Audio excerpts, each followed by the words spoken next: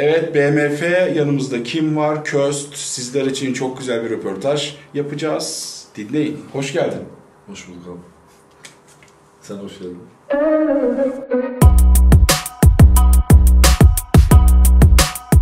Günümüzde Türkçe rap'in gittiği yol biraz bir, bir farklı ama sen daha böyle underground, progresif, daha mesaj içerikli şarkılar yap- yapıyorsun.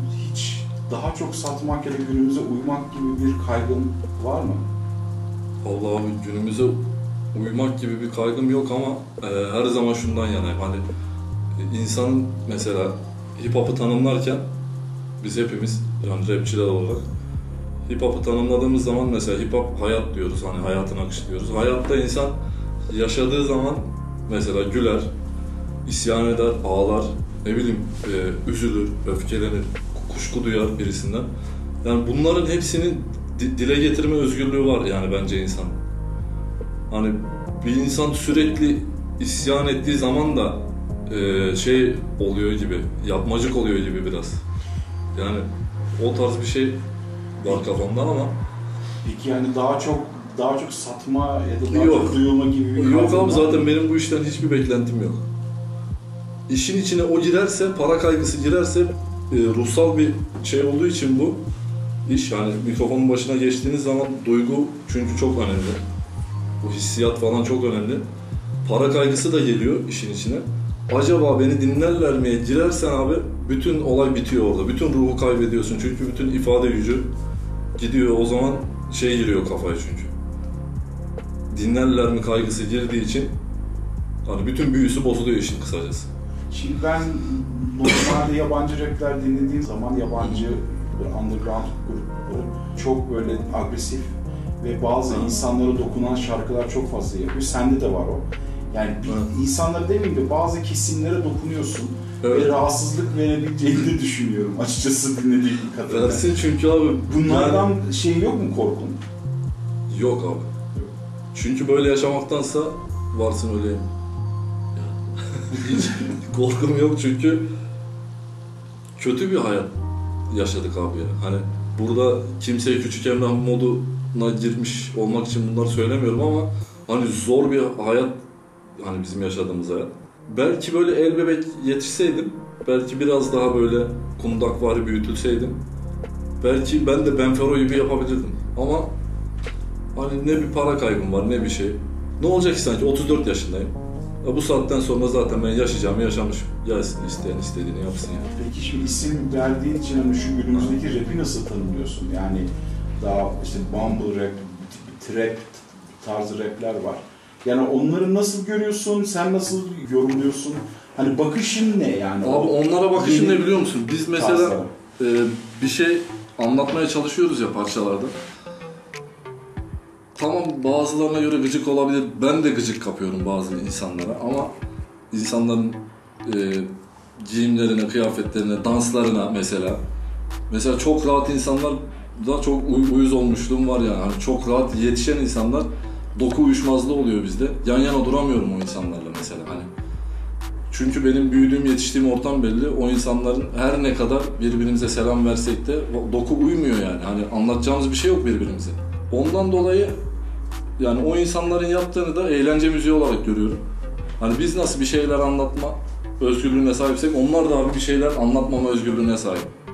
Eğlence müziği yapıyor adam. Yani bence sıkıntı yok. Onlar da kendi çapında özgür, yani ifade özgürlüğü abi sonuçta. Peki kendine yakın hissettiğin ya da Türkçe rapte şu anda ya bu bunlar güzel yapıyor dediğin kimse var mı? Hangi tarzda abi? Grup mu? Yani Şey, s- sana göre rap, rap olarak rap olarak. ya da hani dinleyin, ha bunu hani cevaplamak zorunda değilsin aslında Çabuk ama kendime yakın olarak gördüğüm şey, beğendiğin değil ya da. beğendiğim, dinlediğim var abi. Asil diye bir çocuk var mesela, Tahribat İsyan'da. Tahribat İsyan grubu hoşuma gider. Ondan sonra Şeyin Şah'ın eski parçaları. Hmm. Daha var abi, aklıma gelmiyor. Var yani. Sayan'la Birkaç kişi. Sayan. Sayan'la bir şeyler yaptınız bir de. Sayan yani. Çok. Birkaç, e, ne kadar oldu? E, iki tane EP galiba çıktı değil mi? İki Yanlış tane. Bir tane normal albüm verdik, Evet. bir tane de EP çıktı. EP. Aynen. Peki bunun hikayesi nasıl yani nasıl tanıştınız, nasıl yan yana geldiniz? Çünkü bildiğim kadarıyla sen Tamamen, buradasın. evet benim tamamen Ankara'da o Gebze'de mi Tuzla'da mı? Nerede? Yalova'da Ha, O Yalova'ya yeni geçtiği dönem benim de böyle rap müziğe artık böyle hani iyice soğuduğum dönem, iyice uzaklaştığım dönem. Hiçbir beklentim yok. Şu anda da yok ama o zaman yani sıfırım. Yani rap, rap'e karşı hissiyat sıfır. Çünkü bir şeyleri yaşamışız, bit- bitirmişiz zamanında. Galp Clan diye bir grubumuz vardı şu dövmesi kolumda olan. Bu arkadaşım da içinde oldu. Ondan sonra SoundCloud'dan birisi bir, bir gün bana bir mesaj attı. Kardeşim beatlerin çok güzel e, tarzı bir şey. Hani kullanmıyorsan girebilirim falan. Ben o mesaja bir ay sonra baktım. O kadar soğuğum, uzağım. Baktım Sayan Sakulta yazıyor. Sayan'ı da daha önceden dinlemişliğim var. Hala o zamanlar da dinliyordum. Yazdıktan sonra kardeşim dedim sen fake misin, nesin sen? Bana bir orijinal misin, değil misin? Ben çünkü dedim piyasada değilim. İtin götündeyim yani tabiri caizse. Nasıl buldun beni? Kardeşim ben orijinalim sen. Gir de bak sayfaya. Gibisinden bir şey yazdı. Cozlama. Girdim baktım harbiden adam. Ondan sonra öyle bir muhabbet gelişti abi. Sonra gitgide böyle yıllar geçtikçe kafalar hani uyuşmaya başladı. Askere gittim. 2015'te İstanbul'da yaptım askerliği. Asker ziyaretime falan geldi gitti eşiyle sağ olsun. Böyle yıllar geçtikçe kendime kişilik olarak da daha yakın hissettim abi. Çok düzgün bir insan yani. Hani Sayan benim tanıdığım kadarıyla gayet düzgün bir adam. Düzgün de bir rapçi. Ya ifade gücü çok kuvvetli. Yani ben onunla çalışmadan önce de onun parçalarını dinlerdim yani. Öyle gelişti ilk. Bir çağrı parçasını yaptık. Ee, parçayı kayıtladık falan. Baktık hoşumuza gitti abi. Doğaçlama da güzel şeyler çıkıyor. Bu parçanın başında bir şeyler yaptık böyle kendi çapımızda. Skeç tarzı bir şey oldu.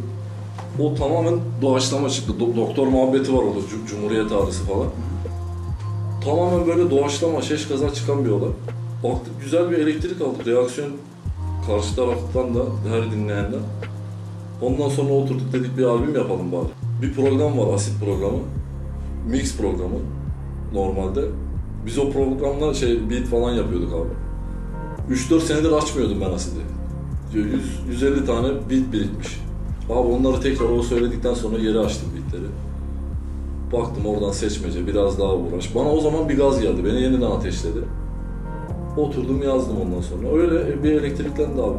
bundan sonra- ne yapacaksın? Peki artık solo mu yoksa yine beraber mi Beraber yapacaksınız Sayan'la? Abi o adamın da motivasyonu şu an düşük ya. Günümüz hani rap piyasasından dolayı. Çünkü bizim millet sadece e, rap'i eğlence olarak görüyor maalesef. Tamam eğlence yönü de var. Tabii Yani.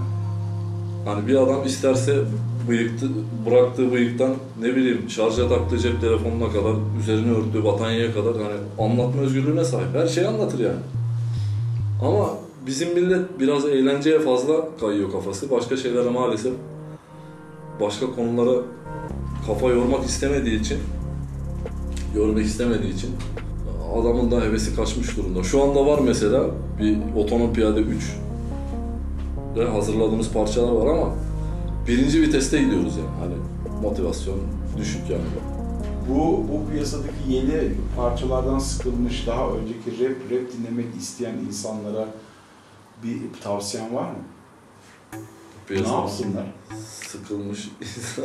Çünkü çok var. Bana yani şöyle söyleyeyim. Çünkü soruyu belki hani tam to- toparlayamadım belki ama yani herkes şöyle diyor. Abi işte yeni yeni rapler şöyle eski daha iyiydi de bir eski ya da şunlar iyiydi de yeni rapler işte bize hitap etmiyor da rap rap bu değil falan filan gibi yani böyle, böyle şeyler var. Hani senin Aynen, düşündüğün biz gibi de. düşünüyorum ben de. Tabii ki Evet. yani bu tarz rap de olacak. Aynen. Underground da olacak, eğlence Tabii rap de olacak ya da işte duygusal rap de olacak belki komik komik rap de olacak. Aynen. Ama mesela insanların böyle Ba- şu Basta anda Rhymes, Basta Rhymes mesela. mesela yani. Komedi. Evet. Adam Hani takılıyordu kafasına. Daha önceleri mi dinlesinler yoksa sizleri sizin gibi MC'leri mi beklesinler? Abi daha öncelerde de var mesela.